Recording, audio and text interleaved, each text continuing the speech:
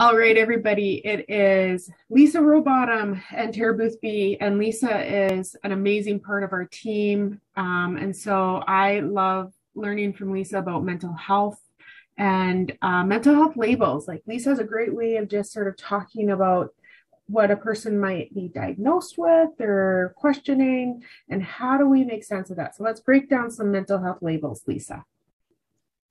Sounds good. So, yeah, I think um, that area I find is of interest to a lot of people because if you don't work in the the mental health area, it's pretty easy to kind of think, well, does this fit maybe ADHD, and does this fit maybe you know maybe I'm anxious, I don't really know, and so um, what I thought we would do is just work through a few of the more um, prevalent diagnoses that we see and do a little bit of a description and a discussion of each and see where we go from there. Perfect. So I thought maybe we'd start with ADHD. Yeah, I think that's great. We get a lot at Sojourn, and I think just around town, a lot of people are questioning ADHD or they've been diagnosed. And that makes sense because what like 50% of the population has ADHD and there's some hereditary component. So if a parent has ADHD, this is what Dr. Poitras told me the last time I was in his office is that it's actually 40% likelihood that the child gets it. And I think if both parents, it's 60%. I can't quite remember. Yeah. Well, ADHD is actually one of the most um, heritable mental health challenges out there. Um, most of our um, other information on some of the other disorders is more like, you know, 10, 15%. So when you're working with like 40, 60%, um, you're working with something probably as close to certain as we're ever going to get in, in, mental health.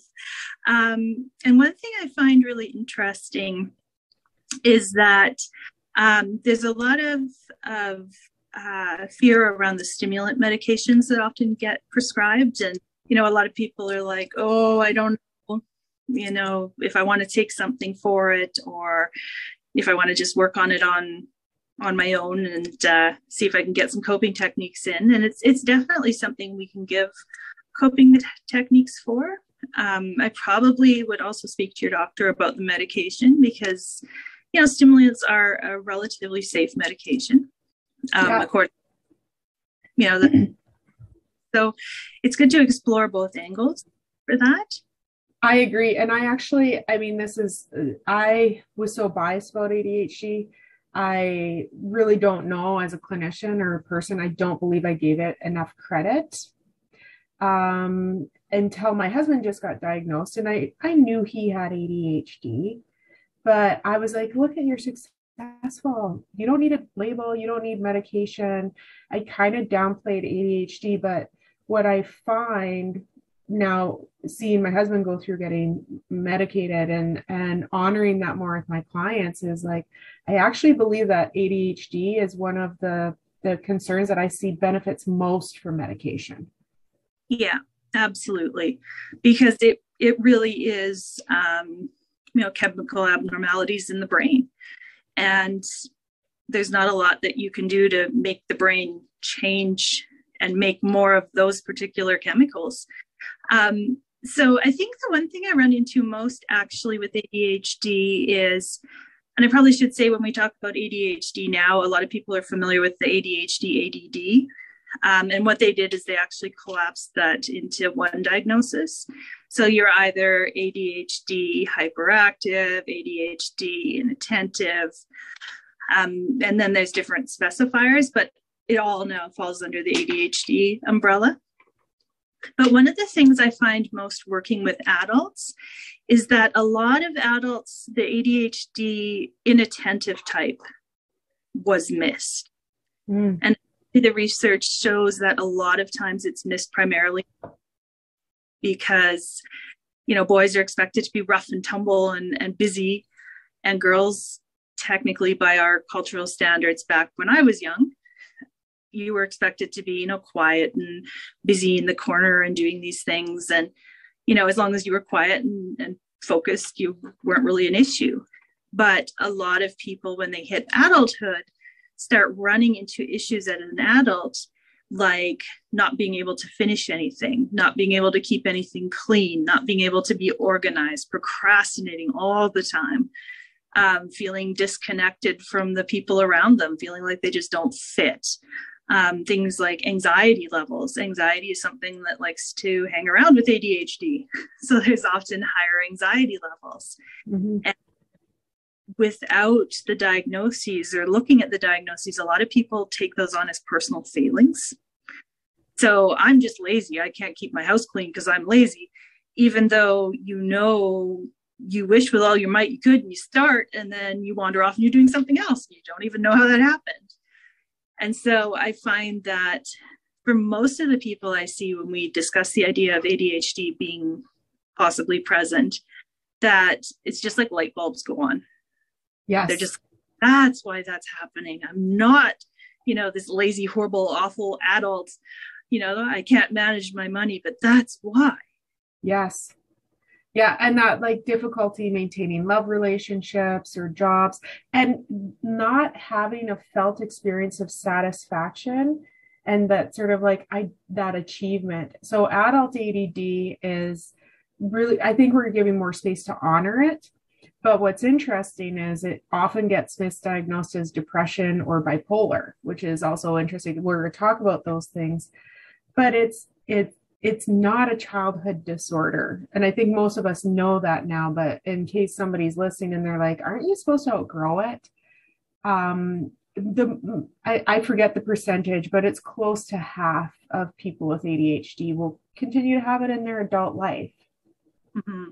Yeah, it just looks really different because of the way the with the brain development. You know, maybe hyperactivity doesn't mean you jump out of your office chair and run around the office like you did when you were in school, but you know, maybe you really really fast all the time and nobody can with you, and you know, so it looks different, but we're starting to realize that you know it is the same processes. It's just an adult presentation of them. Yes, exactly. And it, I took a training in the fall on ADHD and couples therapy.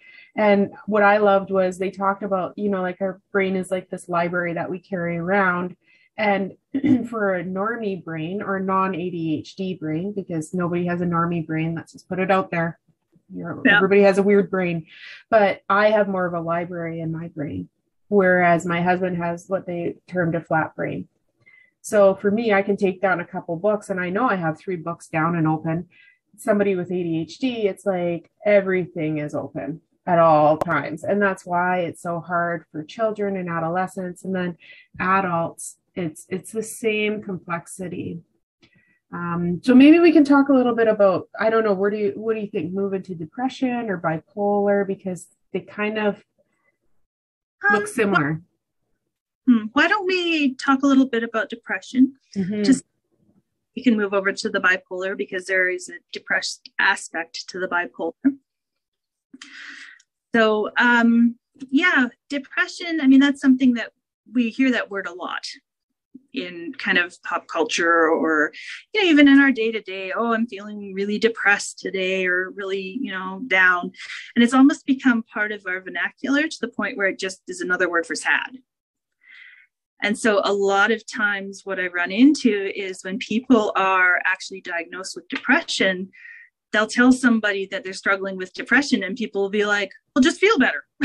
you know, like, okay, so you're just sad, like, get over it. There's not that same level of um, understanding that comes with it as with some of the, the more um, rare, well, the rarer mental illnesses like schizophrenia and that sort of thing just because of the way that we use the word now.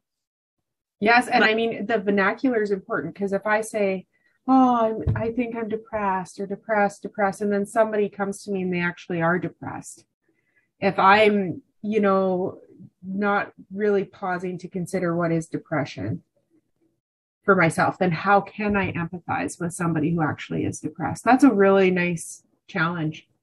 Mm-hmm yeah just to you know it's one of those things just to challenge our internal biases and our internal assumptions that sometimes we don't realize we have Um, I think it's always useful. Um, probably one of the things I should mention is that um, as psychologists, like psychologists, psychiatrists in North America, we use um, a manual called the DSM to help us sort out our diagnoses. And so, under each type of diagnoses, there are several different criteria that the person needs to meet at least a certain number of them to be considered to have that diagnosis. So, um, with something like depression, I believe offhand there's 10 criteria that a person could meet um, any, I think it's six of. Pardon me, I could be incorrect on that, but um, so some of them are, you know, a change in sleep habits. Someone who is depressed will either sleep a lot or not be able to sleep at all.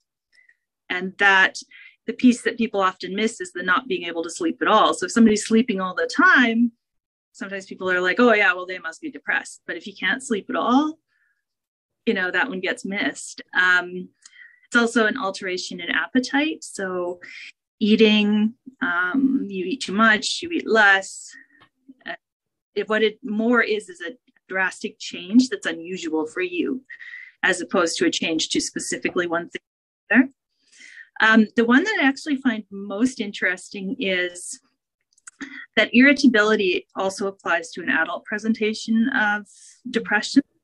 A lot of times when people talk about irritability and depression they apply it to children. And you know it is part of the child's diagnoses but it's almost like it's assumed it's not but an increased level of irritability is associated with depression.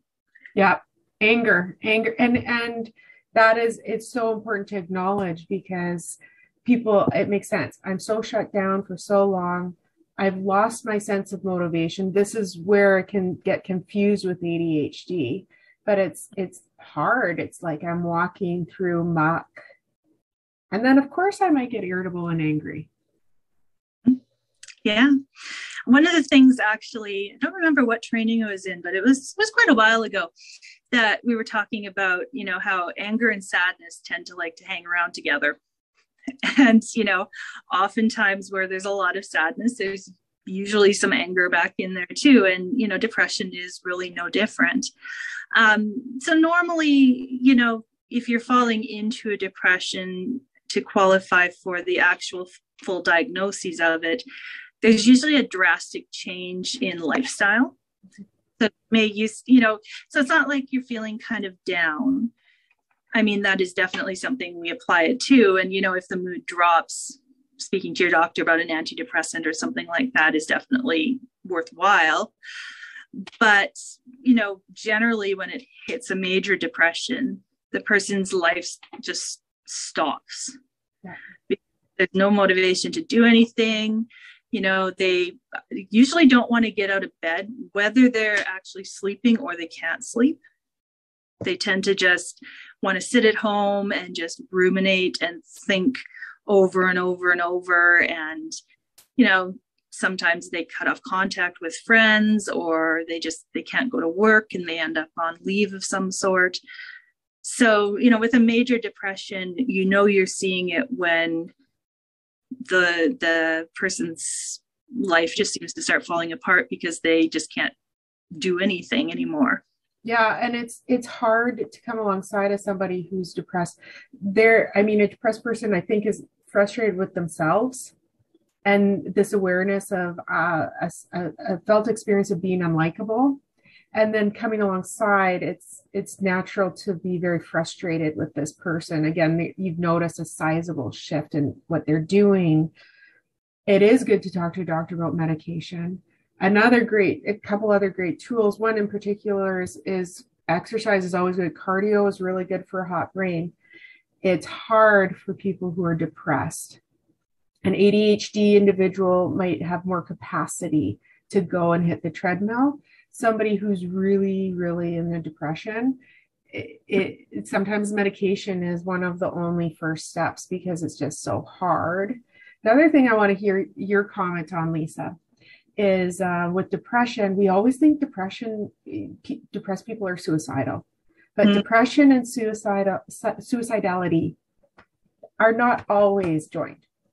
No, not at all. Um, and a lot of times, actually, the um, kind of loss of motivation and the the desire to not get out of bed and do these things will actually save a person from ending their life because they just don't have the strength of will it takes to actually end your own life because you have to have a certain level of will above what the rest of us have to follow through with that and depression can pull all of that out of a person.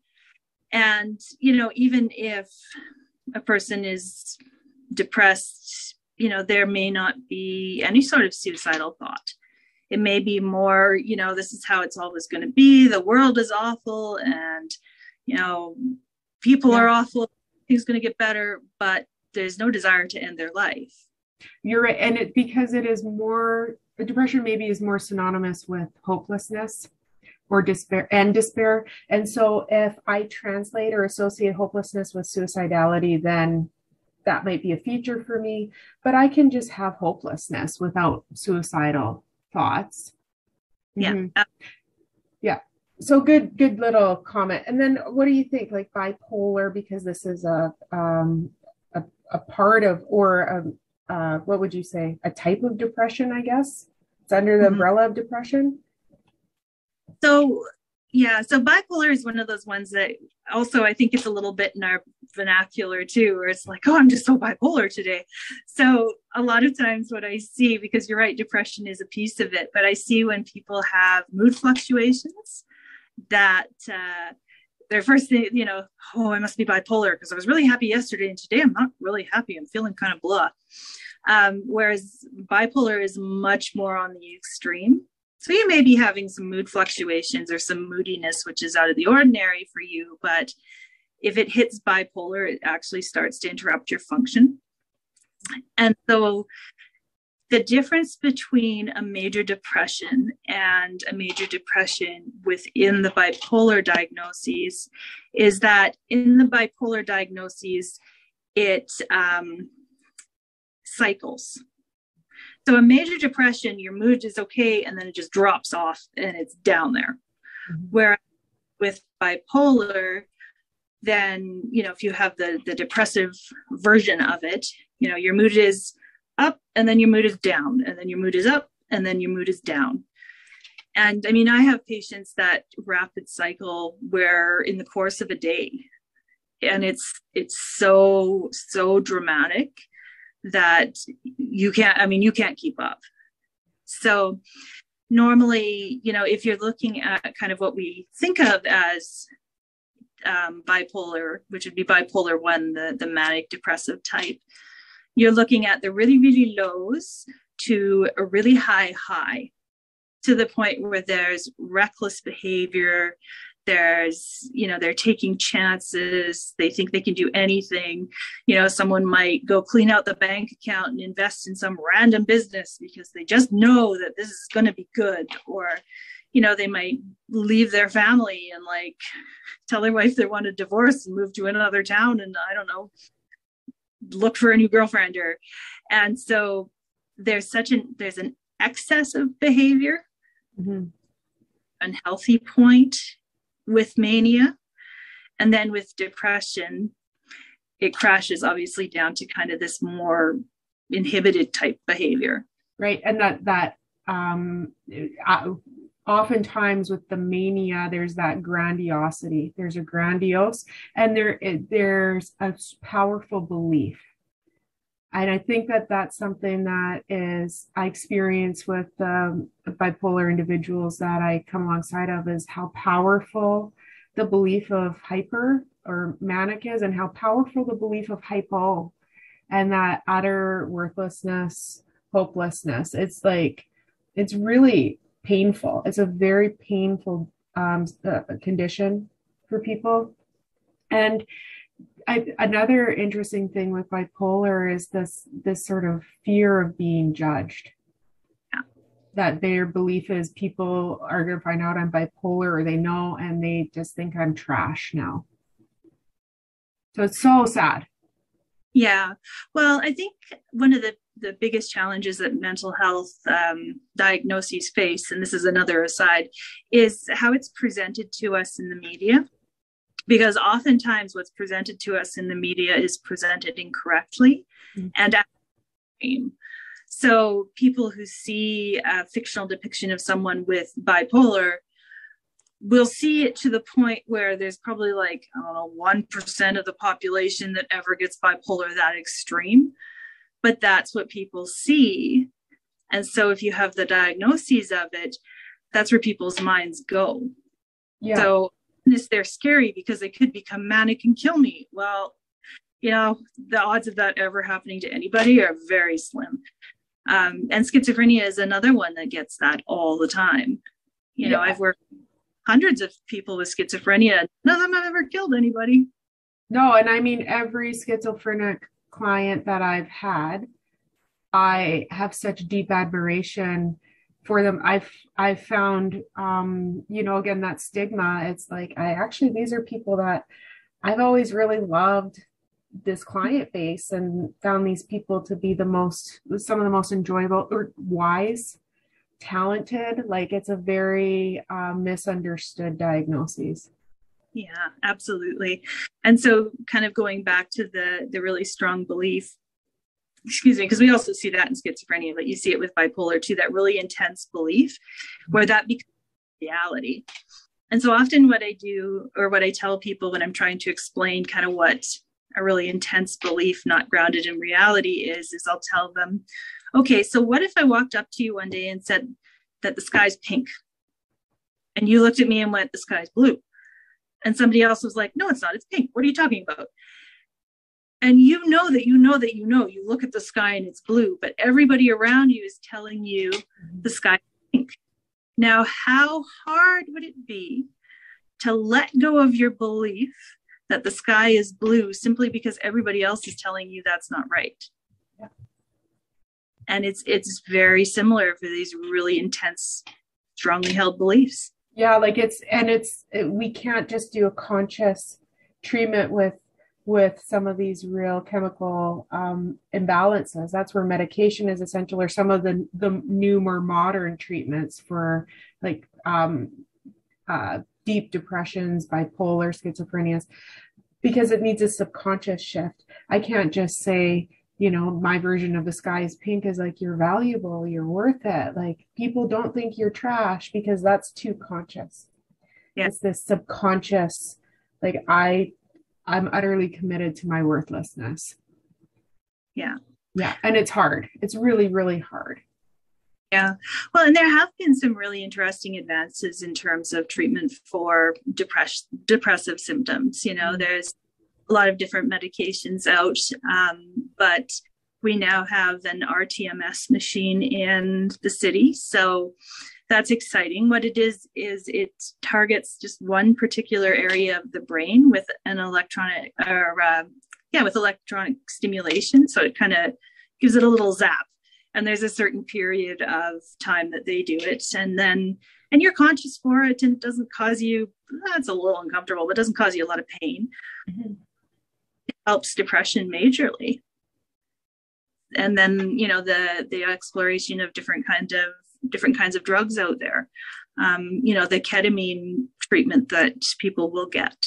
Or you know there still is your your old kind of standby um, ect which looks nothing like it does in the movies but you know there too. So there's a lot of uh, a lot of stuff out there that really can help with depression that people aren't usually aware they can even push towards accessing. Yeah, and that's where to talk to a medical doctor. Get a referral to a psychiatrist from your doctor or psychologist is really good to explore. Like ketamine, I haven't had any client personally who's had that treatment because it's quite new to the city. Um, I've seen amazing, amazing things at Sojourn with different clients, with working with different psychologists who have gotten ECT, and it can be transformative uh, especially for very stuck depression. Yeah. Or just very stuck um, chemical imbalance. Like I've seen it with very stuck OCD as well. Um, so do you want to say anything more about bipolar or should we move on to move else? on? So, what do you think? Anxiety? Yeah, anxiety is a nice, well, I was going to say it's a nice light one, but so, it's easy. It's a functional one. Yeah, because actually, one of the things we were talking about earlier, just before we started, was the idea that, you know, mental health in general is a real spectrum. And I think you know, a lot of people think, well, if I don't have like the far end of the spectrum where I can't function, then I should be able to deal with it myself. But in reality, you know, it's a spectrum. And if it's interfering with your life, then it's okay to get it treated somewhere. Yes. So, yeah. So, I mean, anxiety is one of those that, um, actually, I think the best explanation I ever ran into was um, it's like a fire alarm in your kitchen. Anybody who's seeing me for therapy for their anxiety, you know all about my metaphor here, but um, it's like that fire alarm in your. So it's there to protect you, actually, but it can't tell the difference between an actual fire and my lousy cooking. So it's going to go off for both. And it's the same thing for our anxiety system. We need some level of anxiety, or we'd like you know, walk out into the middle of the road and get hit by a car because it would never occur to us to look. But it's when it becomes so high that it's interfering with the way a person wants to live, or it's making a person really unhappy, or, you know, it's just something that they're always uncomfortable with, then it's definitely something that needs addressed so that we can get that system to settle down and only go off when you actually need it to.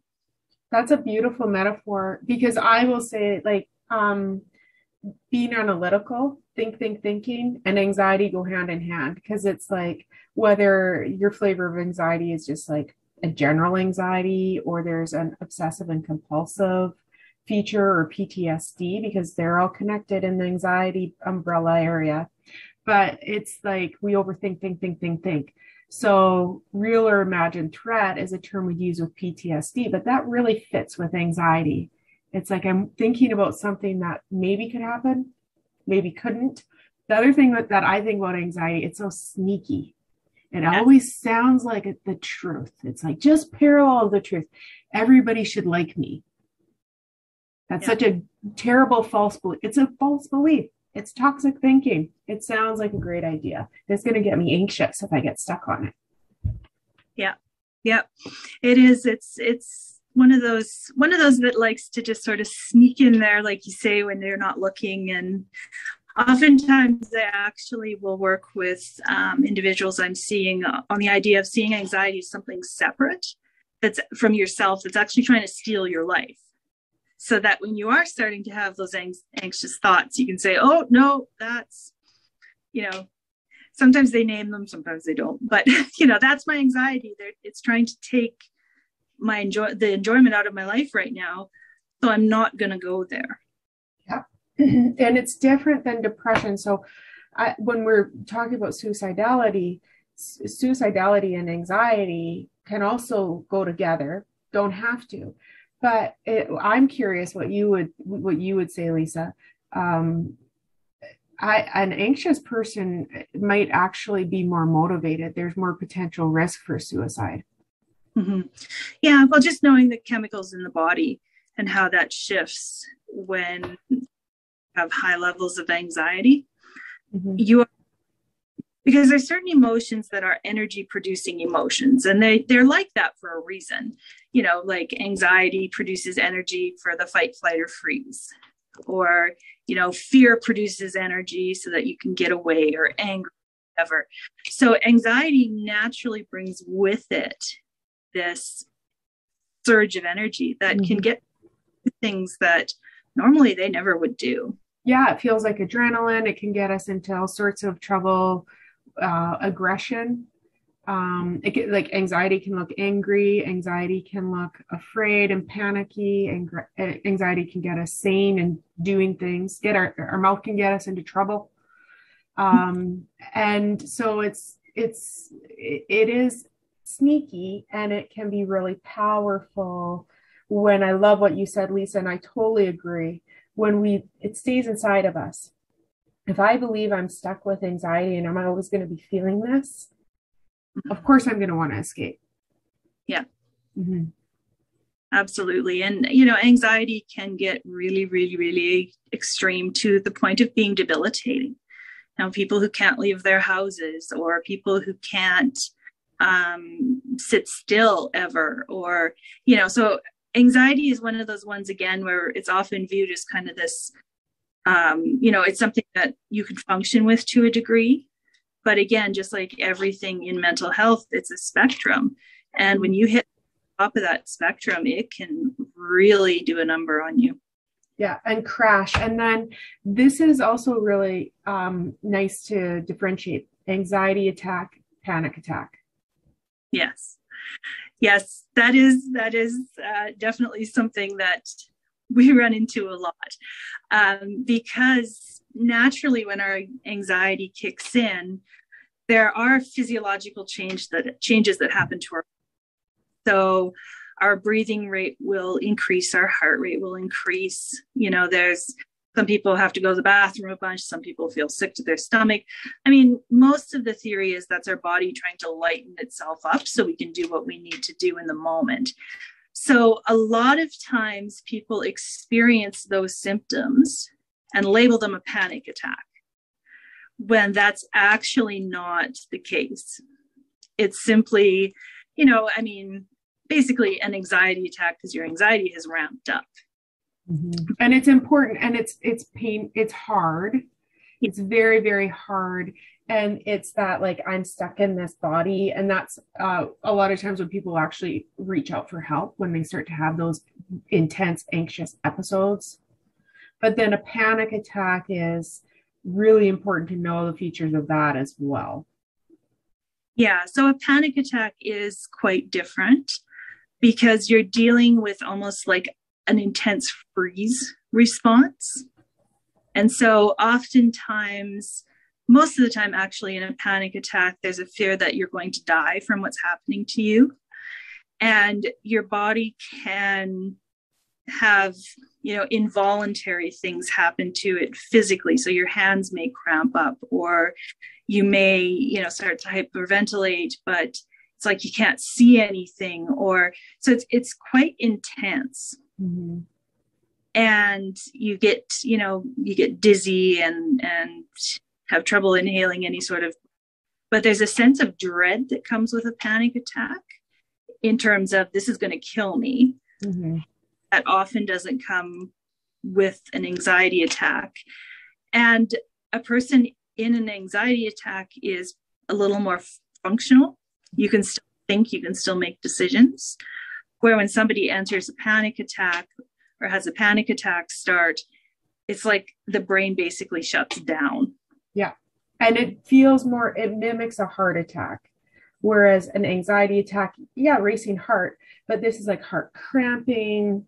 This is like concerning. People will call the ambulance you know because and somebody who sees this if they if they um, are with you they they will be concerned like what is actually this is very very significant whereas anxiety it's like more about i can't i can't reach you i can't calm you down yeah and so you know both of them like you said are equally mm-hmm. um equally i think challenging just in a different way so, but the way that you would work with anxiety and an anxiety attack is different than the way you would work with a panic attack. And so, for us as clinicians, it's important for us to clarify okay, what are we actually dealing with here? Are we dealing with a panic attack in case, you know, desensitization is usually the, the recommended course, not always, but usually. Whereas with an anxiety attack, you may go about it a little differently in terms of I might teach you how to calm your body and I might teach you how to kind of, mm-hmm. you know, mindfulness like that. So that's why I think it's really important to be able to know the difference. I agree. And what I I'd never heard it said this way. And I'm maybe it's common, but I just hadn't had somebody talk about the dread feature of a panic attack. I find that really helpful.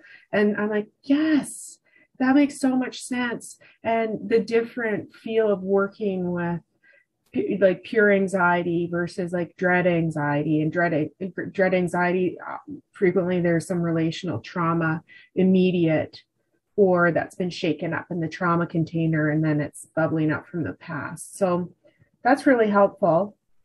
Anything else like i think that's pretty good summary of anxiety. The other thing that we we've talked about but we didn't clearly say with anxiety is it's much more physical like there's a lot of physical features with anxiety all sorts of it. Sweating can even be one but all the other parts that we've we've talked about lots of peeing.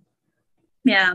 A lot of times when i see somebody who's struggling with anxiety they've been to their doctor a bunch of times because they think something's wrong you know not all the time or i can't sleep or you know my stomach gets upset all the time or, tummy tummy tummy. Yes yeah. And so normally they've been through their doctor over and over and over and finally the doctor's like you know maybe you should go talk to somebody.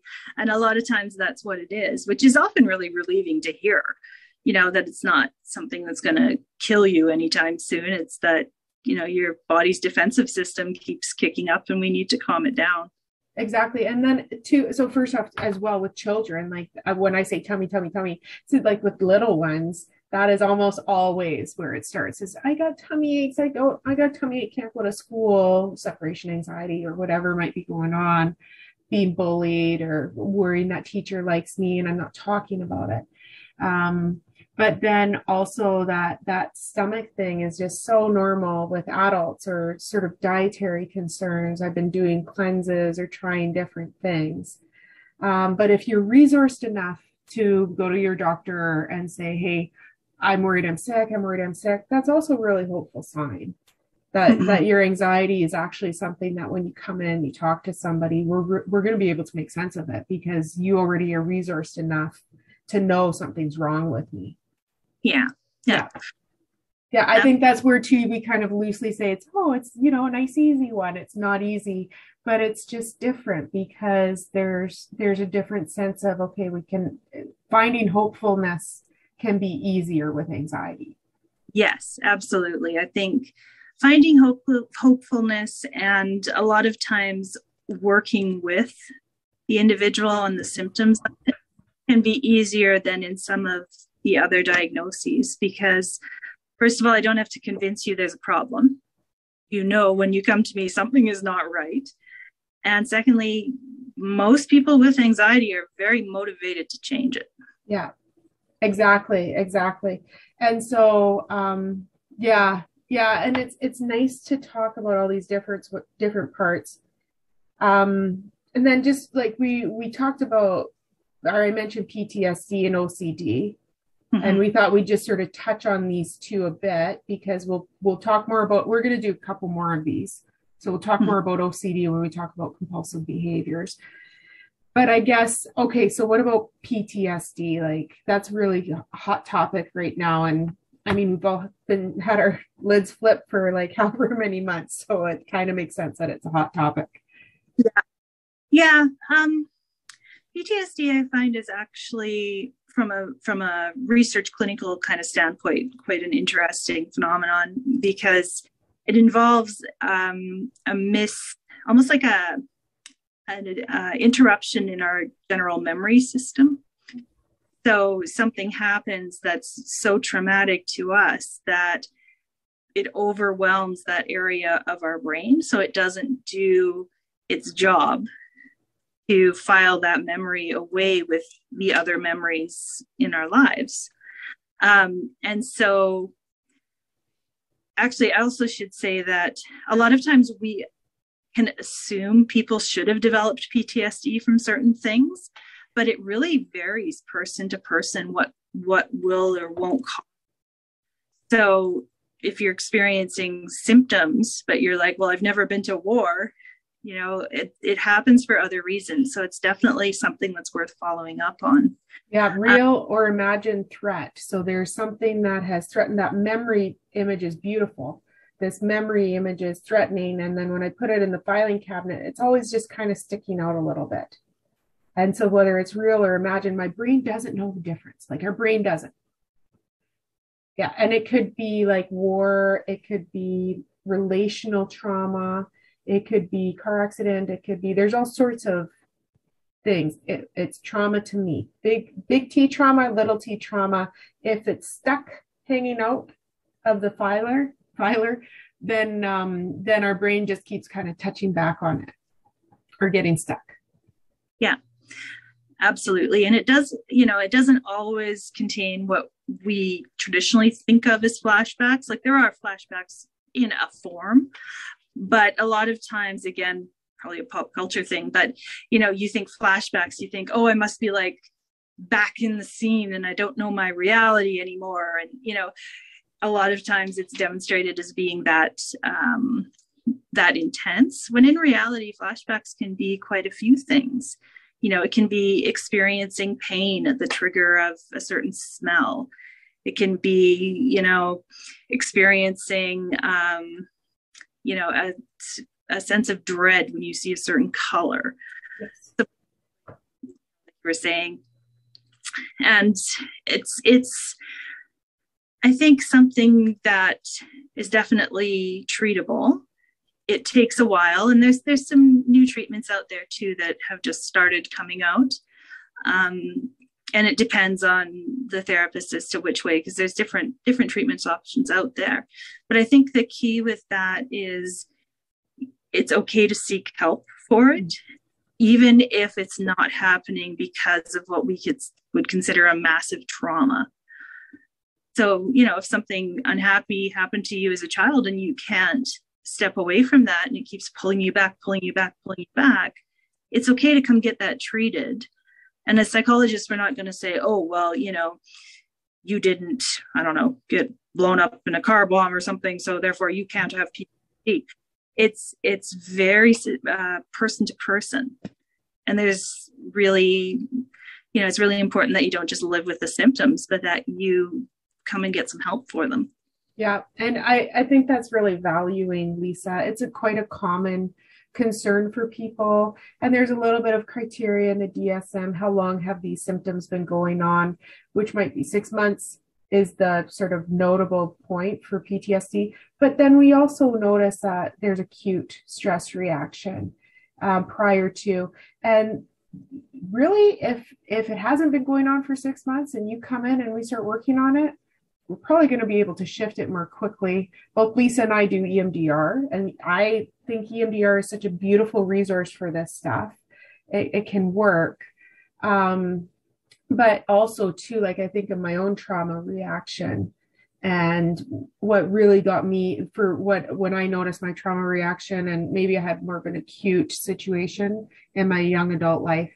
Um, and it was more of like my, I just got really stuck like I couldn't make sense of it. And so my flashback was just like, honestly, like I, I, I couldn't believe, can you believe this happened? Um, I couldn't, it didn't make any sense. It didn't fit with any of my beliefs about myself in the world. And so for somebody else, it's just like, that's nothing. Like, why are you complaining? But for me, I felt very incongruent with myself.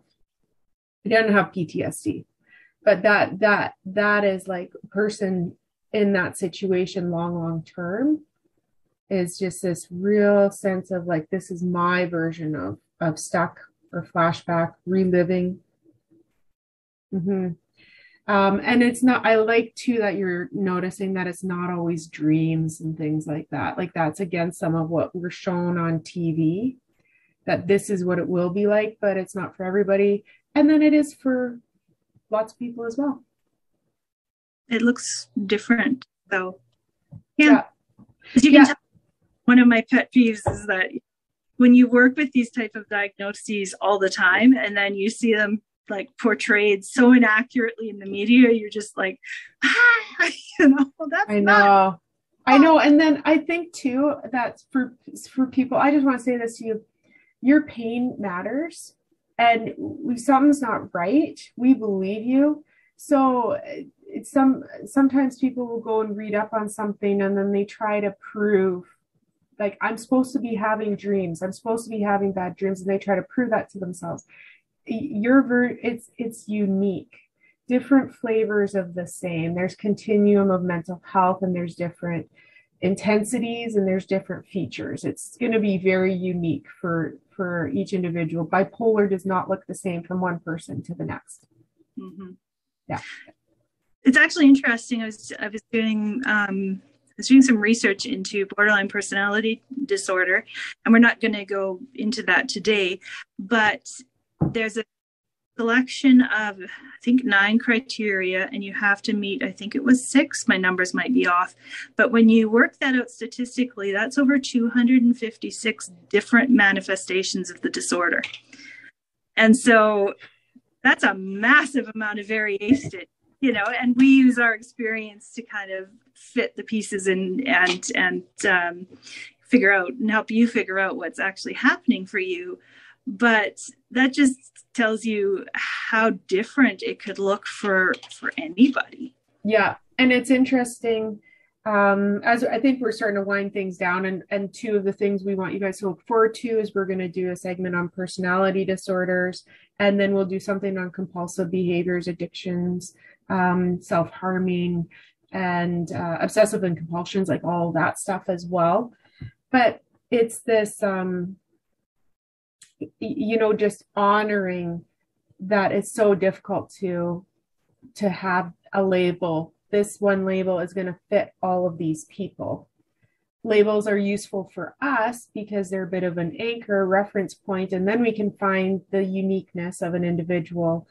Um, but that's why I think the DSM says, has such a hard time, and they keep trying to figure out how to invent our diagnostic manual because it's so hard. And the DSM four was what I was trained on, and I loved it. And then the DSM five was just like, this is so different.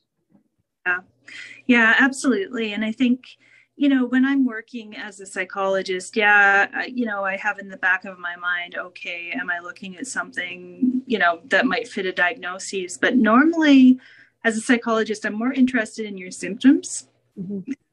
struggling with than I am whether or not I can give you a label. Yes. You know, communicating with psychiatrists because very medical model. Um, they work great for insurance companies and that sort of thing. But truly, you know, if I'm treating depression, then whether it's major depression or you know, dysthymia, which is a lower grade depression, I'm going to come at it at a similar way because it's a depression. Yes. I think that's also something to keep in mind is that, you know, labels are helpful sometimes for some people, but sometimes you don't necessarily need one. A hundred percent. And what I love about what I love about our team at Sojourn, what I love about um, therapists that are attachment minded is, and you can hear it in Lisa speaking right now, and Lisa does a lot of CBT and all these really cool, helpful um, modalities. But Lisa and I believe myself are examples of it's it's about seeing people's humanity. Like no matter what you're going through, you're not no, you're not trash. Mm-hmm. And that's the the stigma of mental health or having a diagnosis is that people people are going to see me as some version of trash. And it's just not true. We're all people like everybody else. Sometimes we're good, sometimes we're bad, sometimes we're happy or sad, we're depressed, sometimes we're broken.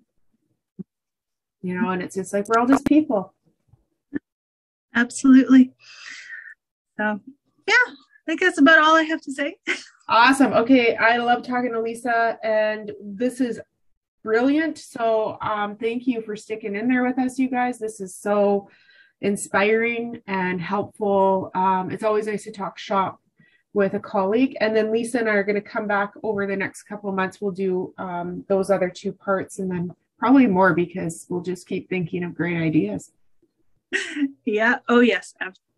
All right. Thank you so much, Lisa. You're welcome. Have a good afternoon. You too. Bye.